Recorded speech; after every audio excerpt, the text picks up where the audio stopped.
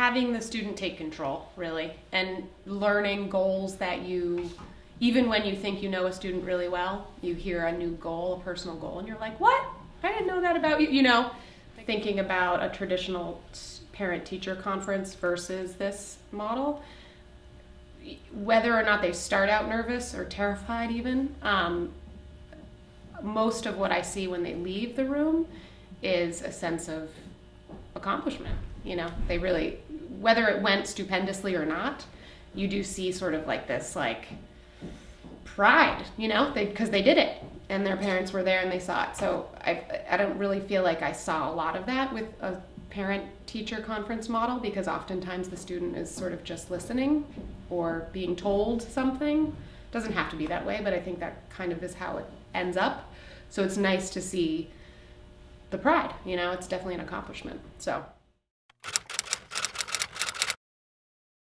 it's a lot of time and it's definitely like a shift in the approach.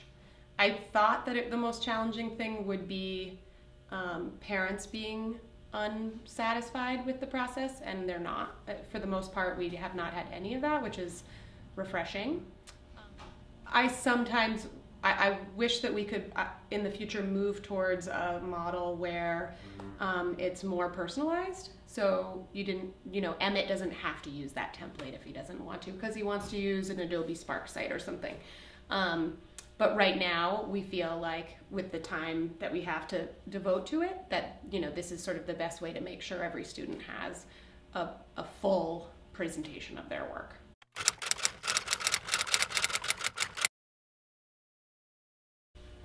um, do it just doing the jump was what was necessary to just say okay we're doing this and it might not turn out great um, but we're going to make the shift and then make the changes that we need to make in the future. So. You, there's so much stuff out there. So like, I was looking at Google Forms from Montpelier, and I was looking at you know all these different schools had all of these different forms they're sending home and letters and and I felt like I was sifting through all of the, these things and feeling overwhelmed to like, oh, this is how I'm supposed to do it, or this is how we're supposed to do it. And when we finally made the shift as a team, that we were like, okay, no, we need to send a letter home and we're to maybe take some information from the, these other schools, but we're to make a letter that makes sense for us. And then we're to use a template. Yeah, and there's some great templates out there, but this is what ours is to look like a little differently. So once we made it our own, it was easy to make the jump. When we were stuck in the part of like, there's all this stuff and we don't know the best way to do it, and they say this is it and that's it, it was that was really hard.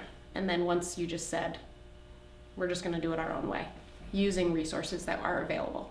Then it was like, oh, okay, we can do this. So do it your own way.